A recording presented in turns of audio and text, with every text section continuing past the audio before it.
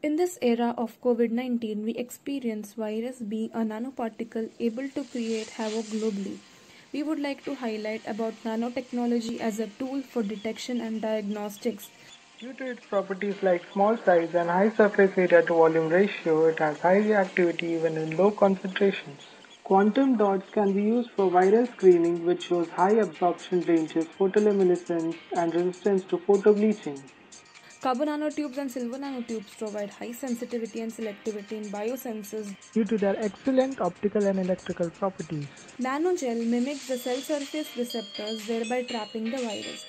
It was seen that gold nanoparticles having size more than the virus can inhibit the entry point of virus, whereas the smaller ones can encapsulate the virus, rendering it less effective and thereby acting as a diagnostic tool. Thank, Thank you. you.